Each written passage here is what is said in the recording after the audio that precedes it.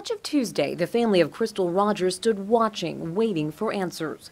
Nearby, 300 acres of farmland belonging to the family of Brooks Houck, the only suspect in her disappearance, was being searched. It was the third time investigators returned to the property, where Rogers was last seen July 3, 2015, and where investigators believe she was killed. Sherry Ballard, Rogers' mother, admittedly felt uneasy. It's just real hard for me to imagine that, but I mean, I've felt that the whole time. Whether they find something on the farm or they don't, I still feel like that's where it happened.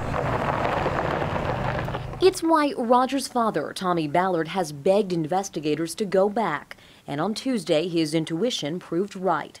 Sources close to the investigation tell WLKY several pieces of farm equipment were seized. He didn't say what they took. He just said they took several things. He told me it was a good day.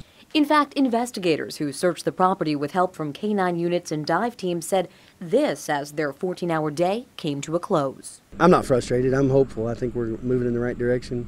Um, you know, it's been a long road, and it may be even longer, but I think we're getting close. It's why Rogers' family believes Brooks Houck, who was spotted with he and Crystal's young son feeding cattle in the midst of the search, should be getting nervous. I've always said he done it, you know, from day one. And like you said, he acts like he's not worried. He better be worried. It's coming. Crews whose efforts were slowed today by extreme heat will return early tomorrow morning to continue that search. Now, Rick Vicki, it is important to note this is the third warrant served in recent weeks in relation to the Crystal Rogers case. Warrants have also been served at the homes of Brooks Houck's brother and grandmother. I'm Lauren Adams, WLKY News.